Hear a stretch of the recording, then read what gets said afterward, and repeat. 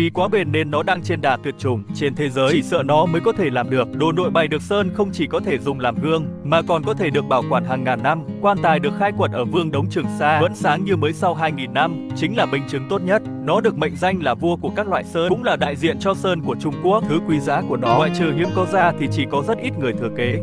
Bởi vì sơn này không phải ai cũng dám chạm vào, thường nghe nói đến thì mặt sẽ biến sắc, không muốn đến gần đây. Không phải đùa đâu, nghe nói dính vào sẽ bị lở loét, nhưng là một thợ sơn mài, đương nhiên không thể lùi bước. Mùa sơn bắt đầu vào mùa hè và kết thúc vào mùa đông. Trong 4 tháng này dù là nóng hay lạnh, những người thợ thủ công sẽ không bao giờ bỏ lỡ mọi cơ hội để chọn sơn mài. Việc thu 10 sơn mài không phải là có tay là được. Đầu tiên người thợ phải trèo lên cây, buộc thanh tre vào làm bậc thang, sau đó tìm một vị trí thích hợp để mở cho cây sơn mài. Phương pháp cắt của dao cực kỳ đặc biệt, vô tình cắt phải sơn chỉ là chuyện nhỏ, cắt cây sơn mài chết mới là tổn bày lớn. Sau khi mở miệng phải đợi nửa tháng, nửa tháng sau đúng như dự đoán, sơn đã tụ lại trong miệng, chỉ cần cắt một lớp mỏng một lần nữa sẽ có sơn chảy ra, bởi vì sản lượng sơn thua khan hiếm, phải quét lông ba lần mới xong. Hàng 10 cây sơn mài mới miễn cưỡng thu 10 được một lớp sơn mỏng. Quá trình sơn lại càng cầu kỳ. Đầu tiên là loại bỏ các tạp chất lỏng có thể có trên bàn, sau đó là sơn lại, cần trộn đều cho cát vào sơn. Bàn trải đầu tiên là để lấp đầy các vết hỏng và khoảng trống trên đồ bày Chú ý sơn mới không được phơi nắng trực tiếp. Nó nên được để khô trong môi trường, phù hợp với nhiệt độ và độ ẩm. Bước này ảnh hưởng trực tiếp đến độ cứng và độ bóng của sơn mài. Thông thường sau 2 ngày sấy khô là có thể sơn lại lớp sơn thứ hai. Lớp sơn thứ hai cần bọc một lớp vải bông trên mặt bàn. Nó giống như thép trong tòa nhà lặp lại ít nhất 3 lần. Lớp cuối cùng là sơn chín, đó là nấu chín và sơn lại còn gọi là sơn bóng.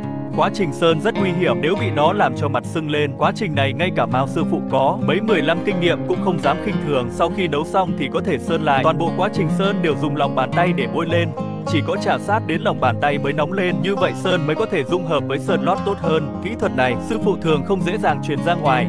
Bạn có thể thấy rằng mặt bàn sau khi hoàn thành không chỉ sáng như gương, mà còn bền chắc. Tuy nhiên sự bền bỉ của nó cũng trở thành một bi kịch. Bởi vì đồ nội bày dùng sơn mài quá bền, mọi người không cần thay đồ nội bày thường xuyên, bây giờ chỉ có thể dựa vào việc sơn quan tài để duy trì sự kế thừa. Có một câu nói trên mạng rằng bất cứ ai chơi bùn đều kiếm được rất nhiều tiền. Lúc đầu tôi không tin, cho đến khi biết được bùn mà người đàn ông dẫm lên trị giá 800.000 đô và những viên gạch được nung từ nó, đó là thiên hạ đệ nhất gạch ngự diêu gạch vàng. Thì ra đây chính là gạch lát sàn do Vĩnh Lạc Đại Đế chủ đệ đúc 600 năm trước. Khi xây dựng Tử Cấm Thành, nó không chỉ tạo ra âm thanh kim loại giòn tan khi gõ, dùng tay chạm vào giống như làn da em bé mịn màng.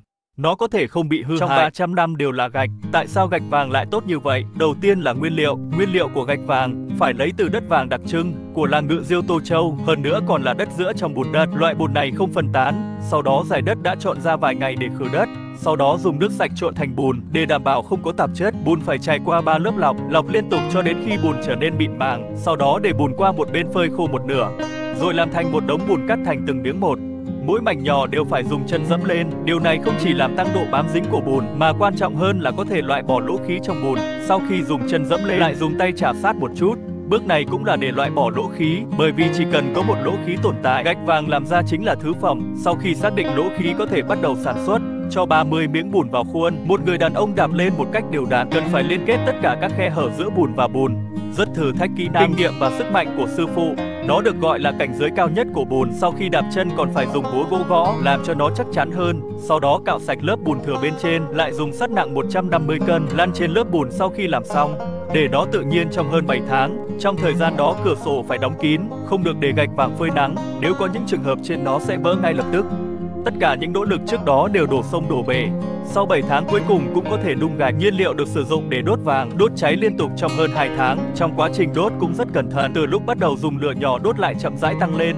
Toàn bộ đều dựa vào kinh nghiệm của thợ thủ công và một đôi mắt tinh tường gạch ra lò. Cuối cùng nhất định phải gõ có tiếng tinh thạch, có bề mặt mịn màng như làn da em bé. Như vậy mới tính là một khối gạch vàng đạt tiêu chuẩn. Một lò nung thường chỉ có khoảng 30% là gạch vàng ngự lò tiêu chuẩn. Đó cũng là lý do tại sao nó đắt tiền, thật khó để tưởng tượng. Những thứ bốc hơi nóng trước mắt có thể làm cho người ta trở nên giàu có chỉ sau một đêm cũng từng làm cho người ta tán ra. Tài sản tự cống hiến ở Tứ Xuyên cách đây hơn 200 năm. Vùng đất này tập hợp những người dám mạo hiểm nhất Trung Quốc thời bấy giờ. Đúng vậy họ đầu tư vào việc đào giếng muối. Đầu tư vào giếng muối rất rủi ro. Có thể đào bới trong 30 hay 40 năm đều không thể làm nước muối. Hơn nữa chi phí đều là hàng vạn, thậm chí hàng trăm ngàn lượng bạc. Nhưng nếu đầu tư giếng muối thành công và tạo ra nước muối, thì bạn sẽ là người giàu có. Đây là giếng nước sâu đầu tiên trên thế giới. Được đào sâu hơn 1 km, muối sản xuất trong một ngày có giá trị hơn 500 lượng bạc vào thời điểm đó mà lúc đó một quan huyện bày phẩm lương một năm chỉ có 45 lượng, đó là giá trị của một cái giếng muối trong một ngày, tương đương với thu nhập cả năm của hơn 10 huyện quan thời nhà Thanh. Trước lợi nhuận khổng lồ như vậy, các thương nhân to gan tụ tập tự cống, họ tin rằng chỉ cần tiếp tục bơm tiền để tạo ra nước muối thì lợi nhuận sẽ gấp hàng trăm lần đầu tư. Ông Vương Lãng Vân, người giàu nhất ngành muối cách đây hơn 100 năm, đã trở thành người giàu nhất, thương ra muối nhờ vào một cái giếng. Vương Lãng Vân lúc đó mới 22 tuổi tự lập giếng, để chia sẻ một giếng muối mà đầu tư bày bại vào thời điểm đó, Thiên Nhất Tình do tầng nước ngầm tự cống nằm sâu dưới lòng đất hơn 100 năm trước khi công nghệ carbon sương mù chưa phát triển, đầu tư vào giếng muối giống như mở hộp bù, chọn vị trí tốt có thể đào nước muối lên hàng trăm mét. Nếu không tốt thì đào sâu hơn, thậm chí dùng cả gia tài của bạn cũng không đào được. Nước muối Thiên Nhất Tình chính là điển hình của việc đào hết tài sản trong nhà mà vẫn không đào được nước muối. Vương Lãng Vân là một người dám mạo hiểm. Sau khi ông ấy tiếp quản, ông cảm thấy tiếp tục khoan sâu có thể có nước muối. Có lẽ là tuổi trẻ khí thịnh, ông quyết định đặt cược tất cả tài sản của một mình. lần nữa ở lại Thiên Nhất Tình. Thành thì làm giàu, bại thì tán ra bại sản khi các công nhân nhảy lên bàn đạp dây thừng kéo theo một nhúm sắt đào sâu xuống giếng.